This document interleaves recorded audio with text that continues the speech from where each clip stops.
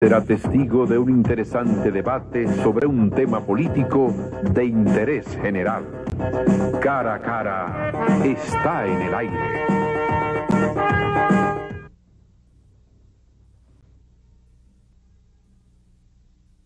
de Santo Domingo a finales del siglo XVIII.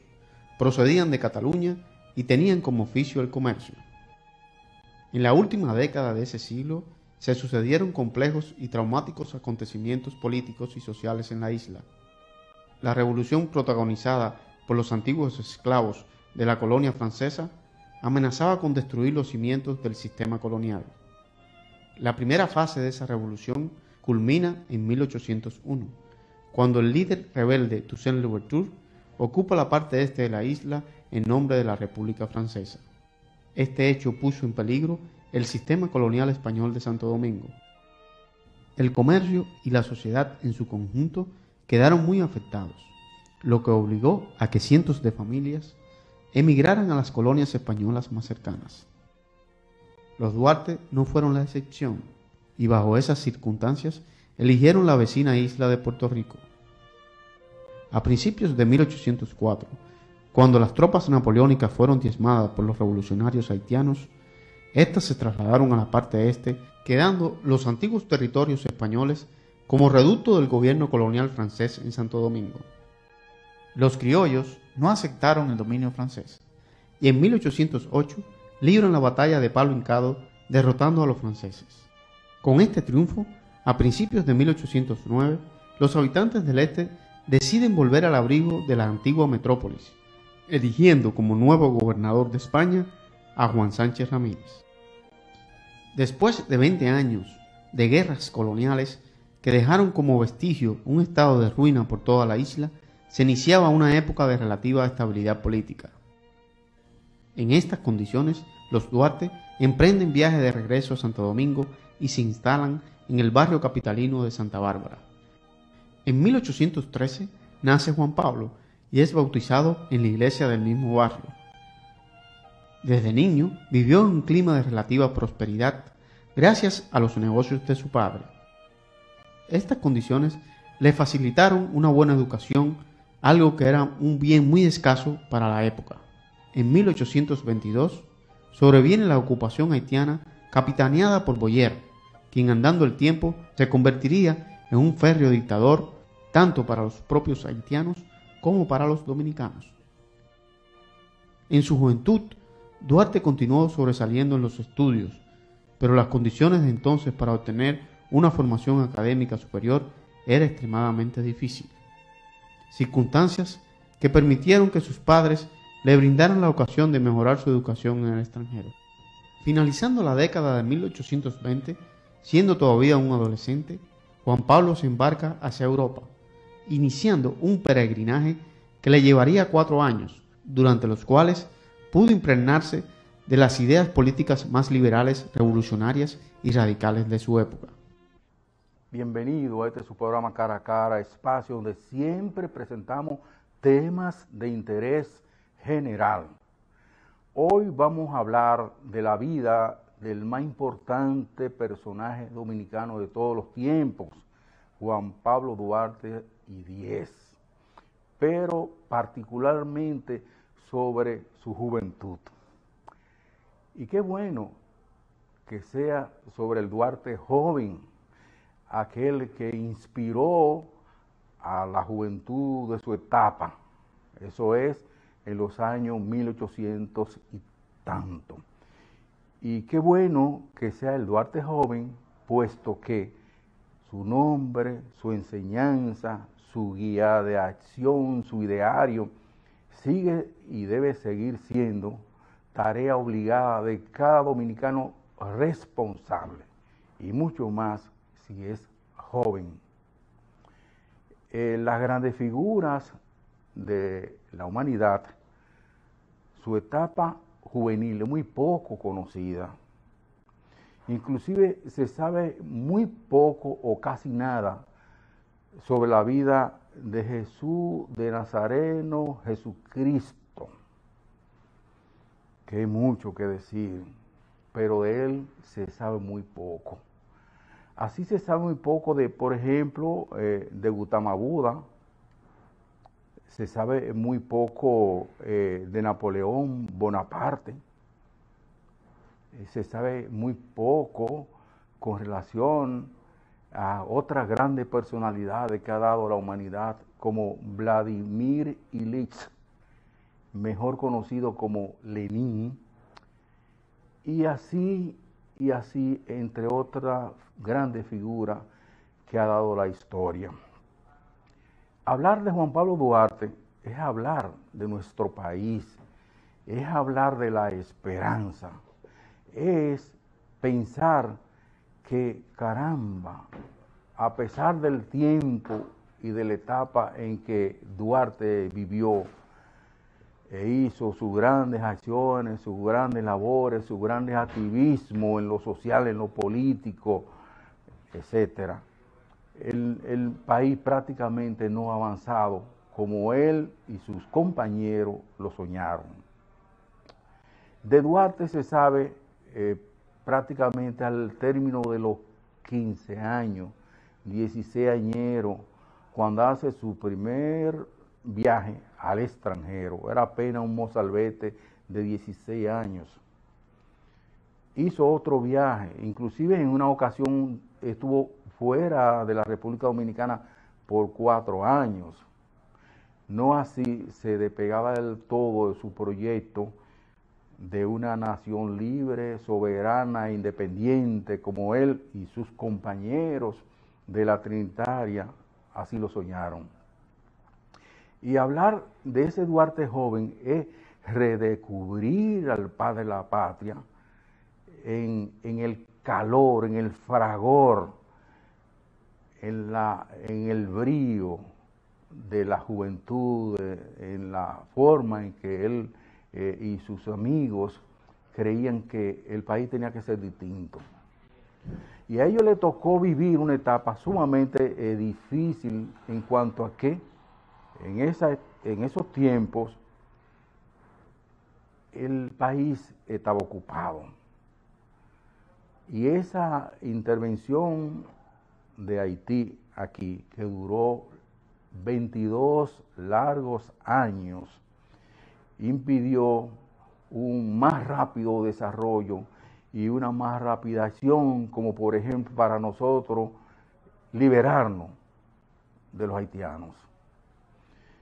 Los elementos que ocuparon esta parte de la isla lo prohibieron todo, comenzando con esa, con la educación.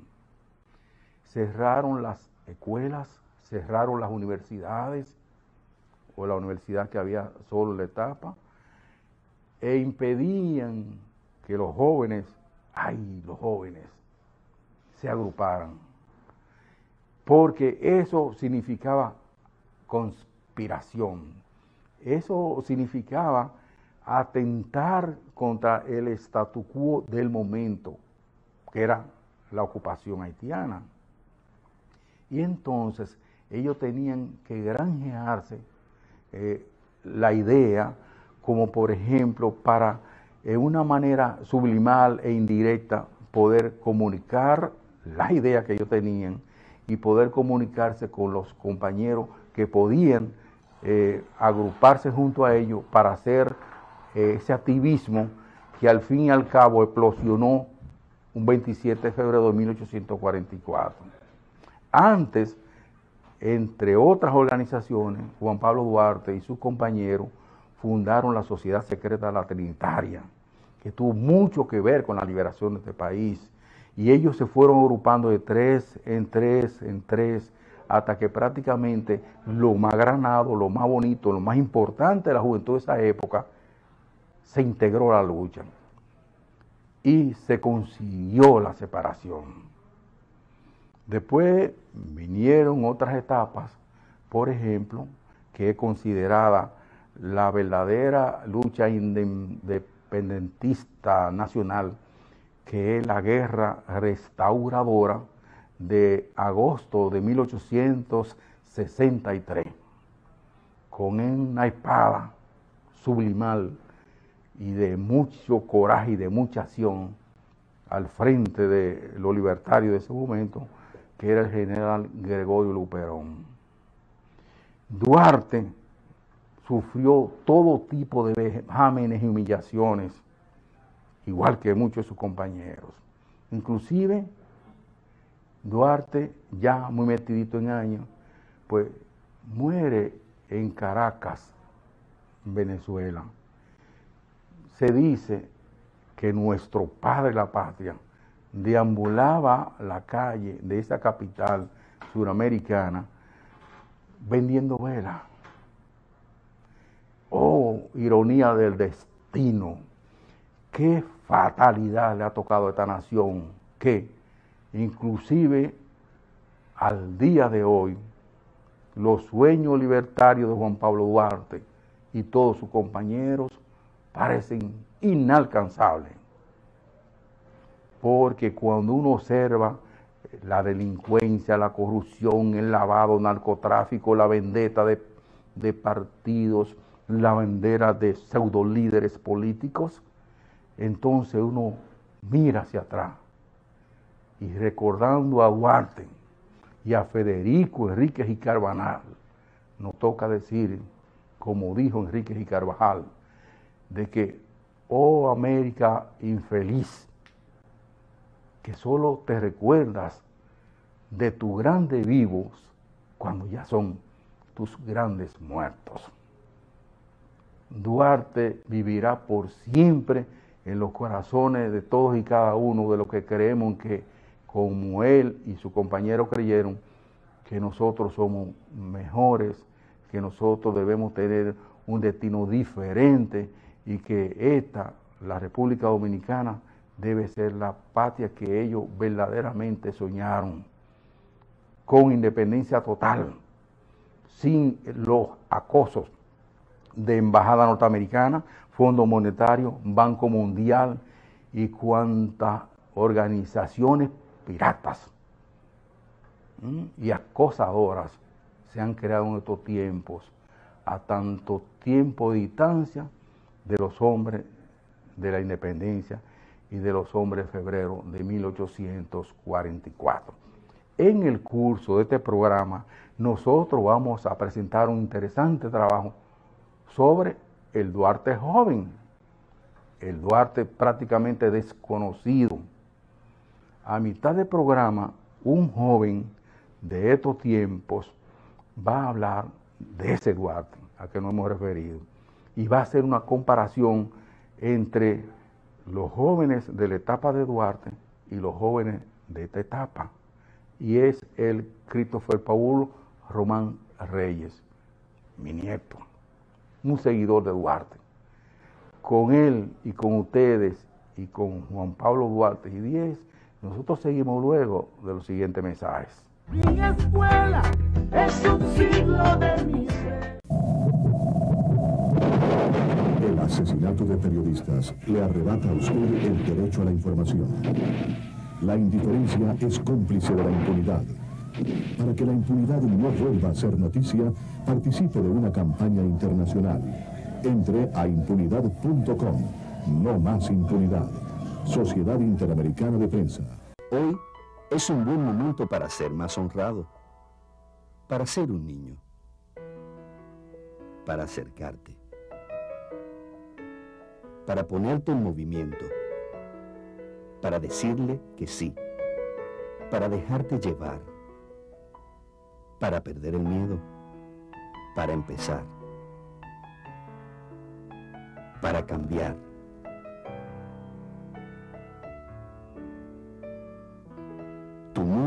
empieza hoy. Un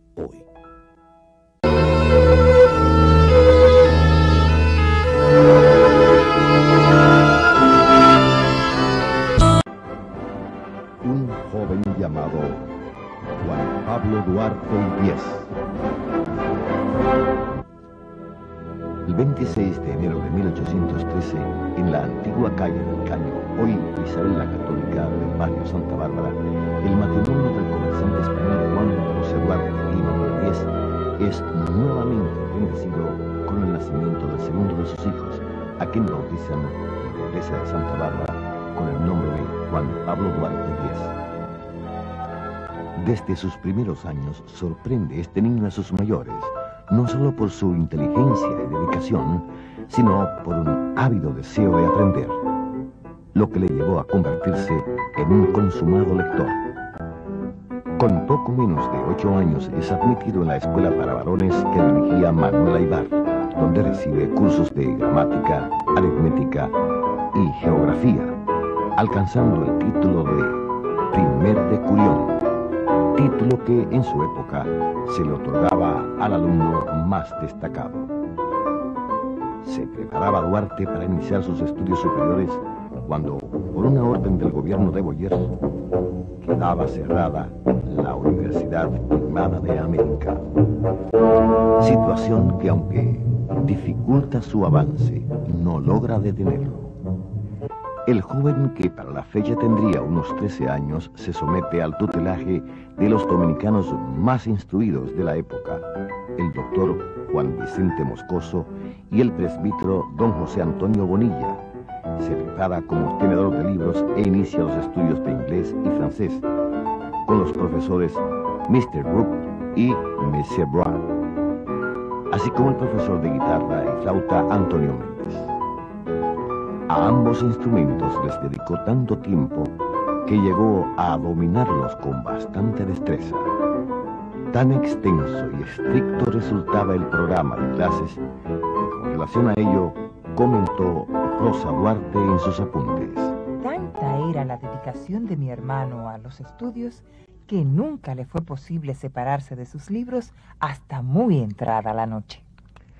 Apremiado por sus tutores, sale Duarte al extranjero para completar su formación científica en compañía del comerciante español Pablo Pujols.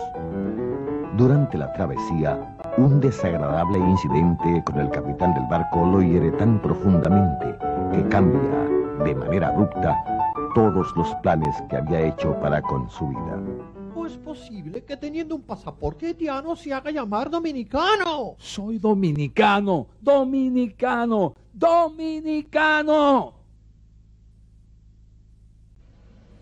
Aunque no se ha establecido con precisión el tiempo que vivió Duarte en los Estados Unidos y Europa, de lo que sí se está completamente seguro es que cuando el joven pudo dedicarse con plena libertad y sin atención al estudio y al disfrute de actividades sociales, fue cuando se pudo percatar hasta dónde resultaba oprobiosa la ocupación que padecía su pueblo.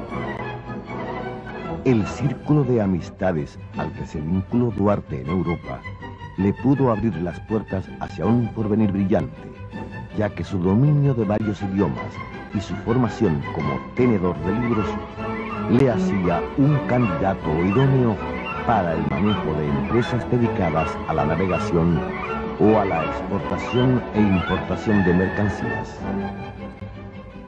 Pese al embriagante influjo de la vida parisina, Duarte se marcha a la ciudad de Barcelona, en Cataluña, región de España. En Cataluña se topa con un proceso de cambios.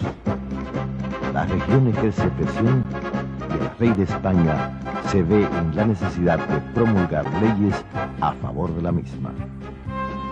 Duarte se sintió tan identificado con lo que ocurría que se dedicó a estudiar estas reformas de leyes. Esta aptitud del joven hace suponer a los historiadores que ya para esa época el joven había empezado a diseñar su proyecto independentista. Para finales de 1833 arriba al puerto de Santo Domingo de Guzmán el buque español a bordo del cual Duarte realizó su viaje de regreso a casa.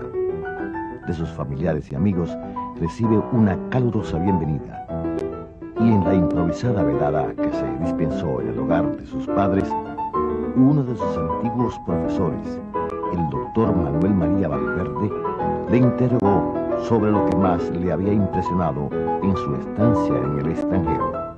Y la inesperada respuesta del muchacho dejó petrificado al auditorio.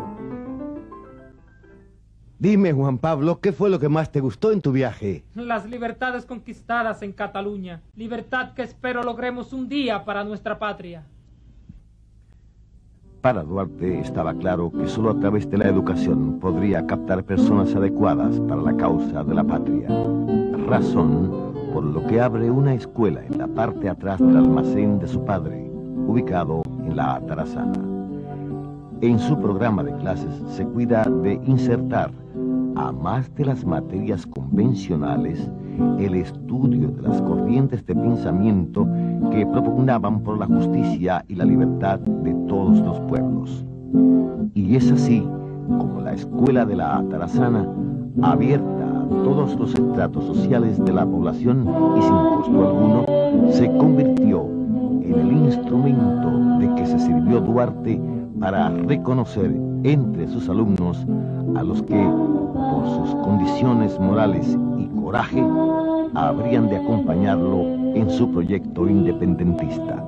Al regresar Duarte, después de su primer viaje al extranjero, decidió fundar una escuela que le permitiera agrupar en ella a sus conocidos, especialmente a los jóvenes de su barrio y de los demás lugares cercanos al mismo, con el propósito de no solamente enseñarles las materias que debían conocer en la enseñanza secundaria, que en esa época no existía como cosa pública, sino como una actividad privada de cada familia que podía pagársela a sus hijos, para no solamente enseñarles esas materias, sino aprovechar la oportunidad para adoctrinarlos en lo que se refiere al patriotismo, a los derechos humanos, la democracia, etcétera, de manera pues que su escuela sirviera para dos cosas, para adoctrinar a los que serían sus futuros colaboradores y para aumentar su nivel cultural. En medio de toda la presión que causaba su gestión como forjador, Duarte hizo un espacio para formalizar su compromiso con la señorita Antonia Bobadilla. El tiempo que duró este compromiso y las razones por las que se deshizo se desconocen, aunque todo parece señalar que la causa del rompimiento fueron motivados por el temor que sintieron los padres de la novia al enterarse de las actividades en que se hallaba involucrado el prometido de su hija. A los 21 años, Duarte ingresa a la Guardia Nacional Haitiana con el rango de Fourrier, que era el equivalente a cabo en nuestro ejército, para hacer el servicio militar obligatorio. Esta situación, lejos de suponerle una molestia, Duarte la concibe como una oportunidad para adquirir experiencia militar y relaciones en los cuerpos castrenses. Durante los nueve años que permaneció Duarte en esta institución, sus habilidades militares le merecieron varios ascensos, alcanzando el rango de coronel. No todos los que llegaron a esta escuela lo hicieron de modo espontáneo. Algunos fueron deliberadamente escogidos, como es el caso de los hombres con experiencia en oficios de mar. Para él, la participación de estos hombres resultaba indispensable, ya que, a su entender, cuando se concretizara la separación, el equipamiento de una marina de guerra garantizaría la soberanía nacional. Durante los cinco años que funcionó la escuela de la Atarazana, la lectura de obras que trataban temas de democracia, derechos humanos, patriotismo, civismo, compitieron en entusiasmo con los análisis y debates que generaban los manuales y libros de tácticas militares que Duarte tradujo al español para sus discípulos. Para el año de 1838, Duarte intuye que su labor como educador estaba concluida. La semilla de la necesidad de la separación había germinado. Tan solo restaba llevar el fruto de la insurrección a todas las provincias. El 16 de julio de ese año, aprovechando el bullicio de la festividad del Día de Nuestra Señora del Carmen, en la casa de doña Josefa Antonia Pérez de la Paz, Chepita, Duarte dejó formalmente constituida la sociedad secreta La Trinitaria de naturaleza patriótica, política y militar, con el juramento de los fundadores. Augustísima e indivisible Trinidad de Dios Omnipotente, juro y prometo, por mi honor y mi conciencia, en manos de nuestro presidente Juan Pablo Duarte, cooperar con mi persona, vida y bien. Los miembros de la Trinitaria tenían la misión, a más de atraer dos simpatizantes por cada miembro, la de organizar un ejército secreto conocido como el Brazo Armado de la Trinitaria en todo el territorio nacional. De este modo, se garantizaba que cuando llegara el momento señalado, en todo el país estallaría la rebelión. Para conformar las células políticas de la Trinitaria en el interior del país y designar sus encargados, Duarte atendió al tipo de contacto que cada uno de los trinitarios poseía en las diferentes provincias. Sánchez y Vicente Celestino en San José de los Llanos, El Ceibo, Vallaguana y Monte Plata. Ramón Mella en El Cibao. Pedro Alejandrino Pina y Benito González en San Carlos, San Cristóbal y Baní. José María Serra en Baní. Félix María Ruiz en Asua. Juan Isidro Pérez, Jacinto de la Concha, Juan Nepomuceno Ravelo y Felipe Alfau en Santo Domingo y donde fuera necesario. Juan Pablo Duarte, todo el sur, desde San Cristóbal hasta Haití. Para sí mismo se impuso, además, la obligación de velar por el crecimiento y la efectividad de cada una de dichas células. Para cumplir con este cometido, se vio Juan Pablo Duarte precisado a recorrer largas jornadas a caballo junto con los encargados de zona. Frecuentemente, estos recorridos resultaban agotadores, no solo por la distancia o los accidentes geográficos, sino por las condiciones del tiempo. Cuando llovía, por ejemplo, la marcha se hacía lenta, viéndose precisados a acampar donde pudieran guarecerse o en posadas con un mínimo de condiciones. Estas constantes salidas hacia el interior la justificaba Duarte ante las autoridades haitianas como compromisos propios de su oficio de agrimensor. En julio de 1839 llega al país procedente de Puerto Rico el cura limeño Gaspar Hernández como consecuencia de las diligencias que hiciera el vicario mayor Portes Infante para mejorar la calidad de la educación superior en Santo Domingo. Atento a todo cuanto ocurre en la ciudad, Duarte se entrevista con Gaspar Hernández para pedirle que pusiera la cátedra a favor de la causa. Aunque para algunos de los conjurados los sentimientos prohispánicos del prelado Hernández resultaban inconvenientes, para Juan Pablo Duarte esta filiación resultaba de menor importancia si se comparaba con lo que podía aportar al movimiento separatista. La visión del joven político resultó acertada, ya que el cura, al entregarse de modo tan apasionado a la tarea de educador, logró en un tiempo relativamente corto ganar nuevos adeptos a la causa separatista. Aunque resultaba incuestionable la influencia que ejercía la Trinitaria sobre un amplio sector de la población joven, se hacía indispensable crear un nuevo instrumento que permitiera captar la atención de los estratos más conservadores. De aquí que la creatividad de Duarte se hace nueva vez evidente al organizar casi de manera simultánea dos nuevas sociedades, la filantrópica y la dramática. La primera de carácter público se ocupaba de organizar veladas, tertulias y encuentros donde se leían poemas, ensayos o sencillamente pareceres. La segunda, la dramática, concebida esencialmente como una compañía de teatro, montaba obras intencionalmente escogidas, donde los mensajes de rebelión, libertad y derecho se vertían sobre un público que, cansado del ostracismo en el que se le obligaba a vivir, acudía masivamente a cada presentación.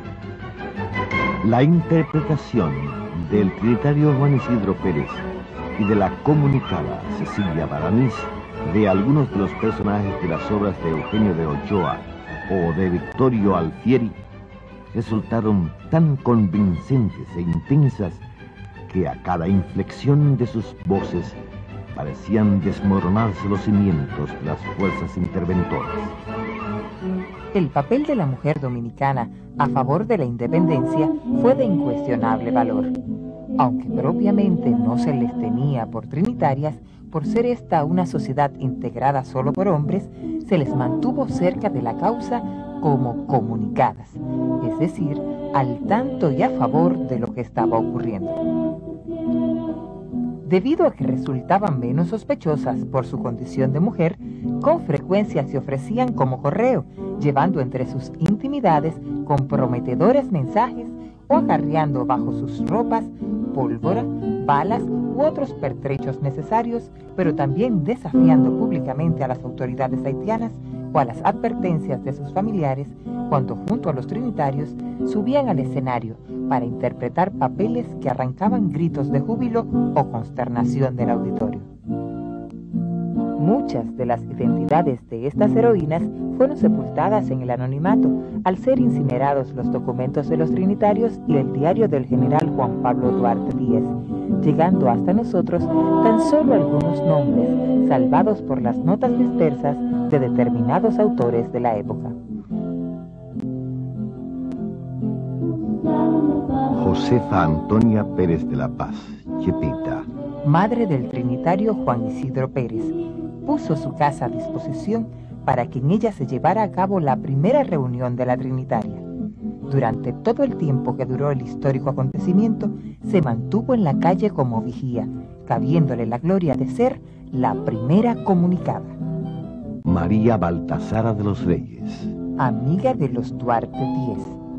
Residía frente al hogar de la ilustre familia identificada con el pensamiento de su joven vecino, no vaciló en confiarle la educación de su hijo Juan Alejandro Acosta. Trabajó a favor de la independencia, participando en actividades de la filantrópica. En 1843, cuando el ejército haitiano perseguía a Duarte, María Baltasara lo escondió en su casa porque entendía que las tropas no lo buscarían tan cerca de su hogar. La noche del 27 de febrero, esta valiente mujer acudió armada con un fusil al baluarte del conde y la madrugada del 28 estuvo de guardia en el fuerte de Angulo. María Trinidad Sánchez. Participante activa de todo el proceso independentista. Fue una fiel defensora del pensamiento duartiano, por lo que se integró a los movimientos conspiradores para derrocar a Santana intentando por todos los medios que los trinitarios pudieran regresar al país. Cuando se descubrió la trama golpista, fue apresada y presionada para que dilatara el escondite de su sobrino Francisco del Rosario Sánchez y los demás conjurados. La confesión nunca se produjo, por lo que fue juzgada por un consejo de guerra. El 27 de febrero de 1845, en el primer año de la fundación de nuestra República, María Trinidad Sánchez caía abatida ante un pelotón de fusilamiento. Concepción Bona. Confesionó la primera bandera dominicana junto con su prima María de Jesús Pina, siguiendo el diseño elaborado por Duarte. La noche del 27 de febrero acompañó a los trinitarios hasta el baluarte para ver ondear por primera vez nuestra bandera. Manuela Díez. Madre de Juan Pablo Duarte y su más grande apoyo moral, no titubeó en disponer de todos los bienes heredados en su viudez para consolidar el nacimiento de nuestra nacionalidad. Su grandeza moral fue tanta que cuando, estando en el exilio, Duarte la abrazó y le pidió perdón por ser el responsable de la desgracia de su familia, doña Manuela lo miró a los ojos y le dijo, mis penas no vienen de ti, sino de quienes te han traicionado. Rosa Duarte Díez. Devota hermana del padre de la patria, apoyó en todo momento la causa liberadora, trabajando en la filantrópica y apoyando a los trinitarios en lo que fuese necesario. Estuvo comprometida con el trinitario Tomás de la Concha, el cual fue fusilado estando ella en el exilio. Durante su exilio, escribió apuntes para la historia del general Juan Pablo Duarte, documento gracias al cual conocemos importantísimos detalles ocurridos durante todo el proceso independentista. Prudencia Lluveres. Comprometida con Duarte durante los efervescentes años de la Trinitaria. Le proporcionó esta joven mujer a Juan Pablo Duarte los más agradables momentos de su incidentada vida. De temperamento vivaz y de decisiones firmes, mantuvo su relación pese a todos los inconvenientes que ésta le ocasionaba. Acostumbrado Juan Pablo al beneplácito que le proporcionaba esta relación, la tributó con apasionados poemas. Cuando en 1844 fue condenado al exilio, la liberó del compromiso para no arrastrarla junto con su desgracia. Pero Prudencia nunca dio por terminado su noviazgo, razón por la cual no quiso relacionarse con ningún otro hombre. Vivió por el resto de su vida al amparo de una de sus hermanas y rodeada del afecto de la descendencia de ésta. Pasado el tiempo, se le oyó con frecuencia confesar a sus parientes. Nunca más me uní a otro hombre porque a mí me bastó el recuerdo del tiempo que pudimos compartir. El nuestro fue un amor intenso, verdadero, de esos que solo terminan cuando acaba la vida. Y sé que cuando finalice mi existencia, Él vendrá por mí y ya nadie, ni siquiera los traidores, habrán de separarnos nuevamente. En su empeño de concertar con los sectores que podrían beneficiar la separación, Duarte contactó a los hermanos ceibanos Pedro y Ramón Santana. A la reunión solo asistió Ramón Santana, quien se despidió con la promesa de que hablaría con su hermano Pedro para cooperar con su vida y bienes en la consecución de la separación definitiva. Lejos estaba Duarte de suponer que en un tiempo relativamente breve, Pedro Santana perpetraría en contra de los trinitarios su persona y su familia toda la más grande traición política de nuestra historia republicana. El Duarte joven. Juan Pablo Duarte concibió la idea de una patria libre, soberana e independiente de toda potencia extranjera.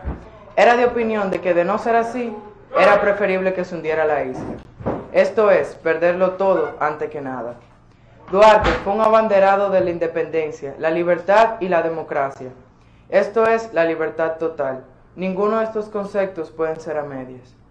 Se es independiente, se es independiente, se es libre y se vive en una verdadera y efectiva democracia cuando ésta se practica en su plenitud, sin ataduras, como se observa en estos tiempos. Duarte, que lo dio todo por la patria, es el gran olvidado de estos tiempos. Solo se recuerda cada 26 de enero, día de su nacimiento. Y ya, de su ideario ni siquiera se habla en, las escuelas, mucho menos de sus prédicas, sus acciones, su desprendimiento, los aportes a su causa y a la de su país. Renunció a todo, hogar, familia, no tuvo hijos, riqueza, renunció a ella. Todo lo entrega a la independencia. Contrario a como observamos en estos tiempos, Juan Pablo Duarte consideraba que la política era la ciencia más elevada después de la filosofía. Prácticamente, Duarte no tuvo juventud, porque apenas siendo un muchacho se integra a las labores conspirativas y para expulsar a los invasores haitianos y ser libres. Integra a grupos sociales y políticos cuyos objetivos eran los de aprovechar cualquier oportunidad para conspirar contra el haitiano invasor. Inclusive, se integra al ejército 210, junto con Sánchez, Mellas y otros, para que desde ahí hacer las labores que convenían a la causa y a la de su país. Crea entidades que con el paso del tiempo serían ejes promotores de la causa duartiana, como son la Sociedad Secreta La Trinitaria, grupos culturales como las filantrópicas y otros. Sus muchos viajes por Europa y América Latina lo forjaron de tal manera que adquirió una amplia preparación social, política y económica. Juan Pablo Duarte dejó un hermoso legado a las pasadas, presentes y futuras generaciones. Creó una constitución, la del 1844, que se dice que es más avanzada que la actual. Hizo una memorable rendición de cuentas cuando fue el responsable de la administración de los recursos, cuando le tocó participar en las acciones militares del sur. Todo su esfuerzo aparentemente fue en vano. Cuando uno observa el comportamiento de nuestros partidos y de nuestros políticos, que anteponen todo a su favor ante sus intereses personales. Los jóvenes tenemos el sagrado compromiso de rescatar las enseñanzas y los valores de Juan Pablo Duarte y sus compañeros, como única manera de que algún día tendremos el país que ellos quisieron para todos nosotros. Solo un banco que por 79 años ha crecido junto a ti sabe valorar lo que es preciso valorar. Valoramos la belleza de nuestras playas, igual que la voluntad de Jorge, que ha puesto su granito de arena para que nuestro turismo no se detenga. Valoramos la riqueza de lo que hemos construido, al igual que la voluntad de María Cristina, quien cada día pone manos a la obra. Valoramos la calidad de nuestros recursos naturales, igual que la voluntad de Porfirio, que ha sabido protegerlos y generar nuevas ideas en beneficio del país. Solo con voluntad hemos logrado superar tiempos difíciles. Hemos logrado adaptarnos y reinventarnos. Hemos logrado avanzar y emprender nuevos caminos porque la voluntad de seguir adelante es nuestra mayor riqueza. Ban Reservas, 79 años siendo el banco de los dominicanos.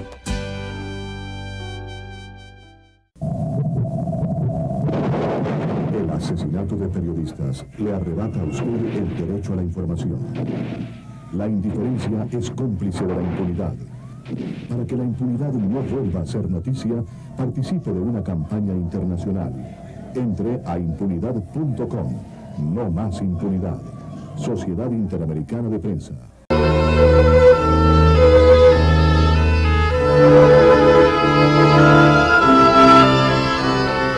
La salud de tu familia es lo más importante, por eso la cuidas y la proteges. Para prevenir el dengue, chikungunya y zika, sigue estos pasos. Unta cloro en un paño para limpiar el tanque. De forma circular, unta cloro en la parte de adentro del tanque, por encima del nivel del agua. Espera 15 minutos para que el cloro actúe. Tapa siempre el tanque todos los días y a todas horas. Porque tu familia lo vale todo. Familia prevenida, familia sana. Un mensaje de Ministerio de Salud, USAID, SFH y PSI. Estando Duarte consciente de que numéricamente y en pertrechos militares nuestro ejército estaba en desventaja con relación al haitiano, decidió aprovecharse de un hecho que a todas luces resultaba beneficioso para la causa la impopularidad del gobierno de Boyer. Al tanto de la revolución que se preparaba en Haití para derrocarlo, convino en participar en la misma y para esto envió a negociar a Juan Nepomuceno Ravelo para ofrecer la cooperación dominicana en la revuelta. La gestión de Ravelo no prosperó, por lo que envió a Ramón Meyer, quien pudo entrevistarse con los conjurados haitianos y trajo instrucciones precisas de cómo debían participar los dominicanos en esta parte de la isla.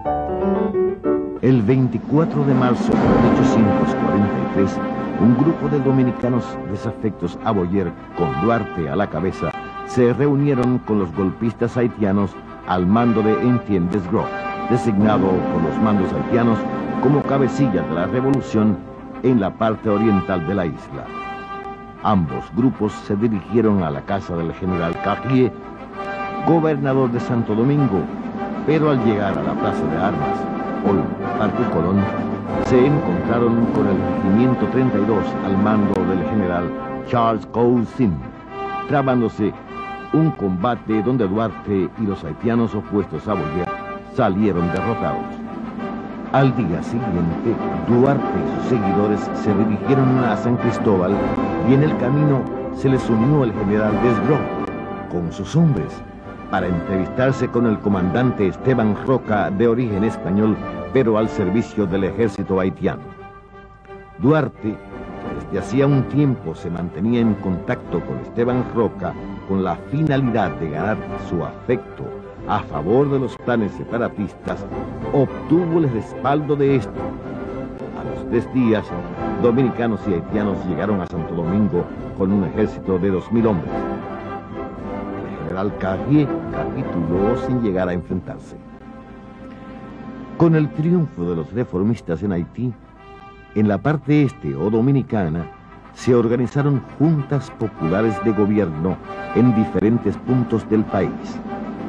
Duarte se había ganado la confianza de las autoridades haitianas por su actuación en el derrocamiento de Boyer, fue seleccionado para organizar los comicios donde habrían de elegirse los representantes de dichas juntas. Esta situación fue aprovechada por él para infiltrar a los trinitarios, haciéndolos pasar como partidarios del nuevo gobierno haitiano. El triunfo de Duarte y los trinitarios fue tan contundente y las demostraciones del júbilo tan espontáneas que las autoridades haitianas no tardaron en reconocer que Duarte los había utilizado para consumar la separación. Con relación al clímax que reinaba en la isla en julio de 1843, Rosa Duarte describe en sus apuntes. La parte española, hoy República Dominicana, era un volcán. Solo esperaban una ocasión propicia para proclamar la libertad. Los ánimos estaban exacerbados y el ambiente se hacía cada vez más tenso. Por donde quiera proliferaban panfletos, proclamas, denuncias, décimas o sátiras a favor o en contra de la separación. Augusto Bruard, delegado del gobierno haitiano, y el general Desbro enviaron un mensaje a Haití donde detallaban la situación reinante en el Haití español y pedían un rápido envío de un contingente militar. Como respuesta al urgente llamado en junio de 1843, el general Charles Gerald vivía entró por Dajabón con un ejército de 12.000 hombres. Para su sorpresa, como él mismo comentara, encontró una población de idioma y costumbres diferentes, por lo que se hizo necesario utilizar un intérprete. Inmediatamente despachó dos brigadas para Santo Domingo y Santiago, mientras que él recorrió Puerto Plata, Santiago, San Francisco de Macorís, La Vega y Cotuí. En todas partes oyó del movimiento separatista. Los apresamientos e interrogatorios asolaron por lo largo y ancho estas provincias. Entre los detenidos se encontraban Ramón Mella y el cura de San Francisco de Macorís, Salvador de Peña, por ser señalados como cabecillas del movimiento en la zona norte.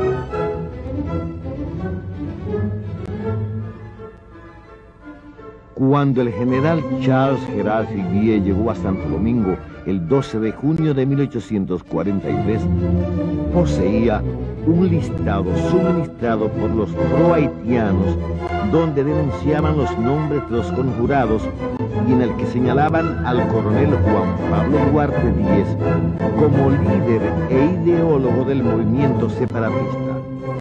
Para precipitar su captura, Charles Herald ofreció al militar que lo capturara como recompensa el ascenso al rango de coronel y tres mil pesos oro, hoy equivalentes a una suma millonaria. La ciudad de Santo Domingo estaba en estado de sitio, sus calles fuertemente patrulladas, la casa de los Duarte Díez y la de los demás conjurados acordonadas y constantemente allanadas. El número de era cada vez mayor y la ciudadanía era sometida a largos interrogatorios. Durante casi dos meses, Duarte y los trinitarios que le acompañaban se vieron precisados a cambiar constantemente de escondite para evadir a sus persecutores. Pero a medida que el cerco se cerraba y se recrudecían las hostilidades contra la ciudadanía, las posibilidades de permanecer ocultos eran cada vez más exiguas. Consciente Juan José Duarte del peligro que corría Juan Pablo y sus colegas y temeroso de que en cualquier momento estos cayeran abatidos en un enfrentamiento con la milicia haitiana, contrató los servicios del capitán una boleta para que lo sacara del país.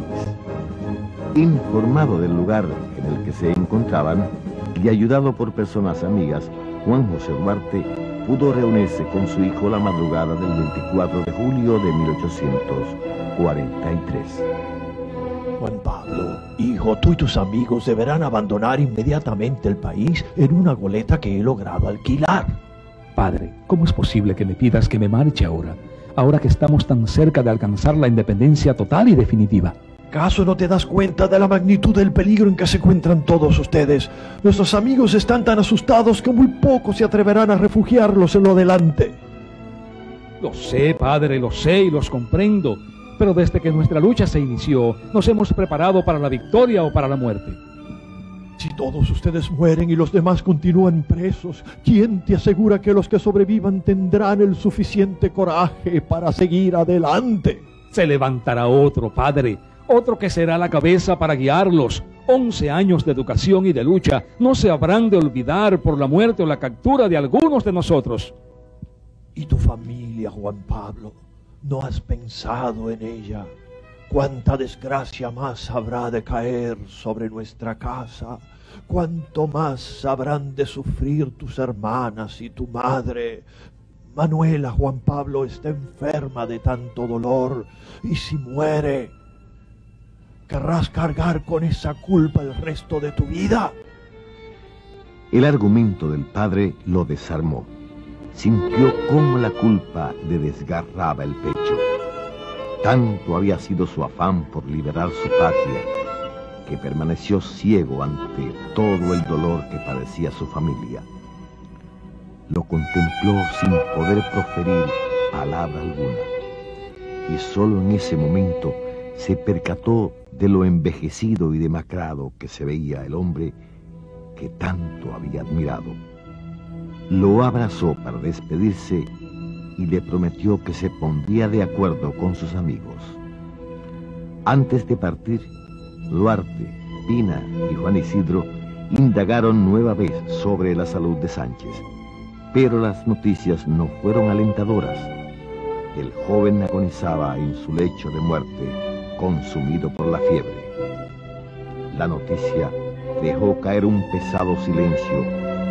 Pesarosos subieron al bote que los conduciría a la balanda en la que saldrían del país esa madrugada del 2 de agosto de 1843. Con la certeza de la salida de Duarte, Pina y Juan Isidro, el rumor del fallecimiento de Sánchez y el encarcelamiento de Mella y otros trinitarios, Charles Gerard y los prohaitianos entendieron que la conjura separatista estaba decapitada. Por consecuencia, disminuyó la presión y a los pocos días a la ciudad de Santo Domingo retornó la calma. Con el surgimiento de problemas internos en el seno del gobierno haitiano y previendo que se gestaba una traición en su contra, el general Charles Gerald partió a Puerto Príncipe. La situación interna de Haití propició un clima apropiado a los separatistas que se reactivaron encabezados por Vicente Celestino Duarte, Sánchez y Ramón Mella. Curiosamente, no hubo una coalición y el pueblo se fragmentó en tendencias pro-haitianos, pro-hispánicos, afrancesados y hasta pro-ingleses. Cada quien andaba por su lado, como si se hubiesen olvidado que éramos un solo pueblo y que por tanto la meta debería ser la misma, el bienestar de la patria. Mientras tanto, desde su llegada a Venezuela, Duarte buscó entrevistarse con el presidente venezolano, el general Carlos Soublete. Entrevista que logró gracias a la dama dominicana, doña María Ruiz. La reunión se llevó a cabo en la Casa Amarilla y en la misma Duarte, después de describir la terrible situación que padecía el pueblo dominicano, le solicitó su colaboración en armas y municiones. El mandatario se deshizo en elogios al joven patriota y le ofreció su más decidida colaboración.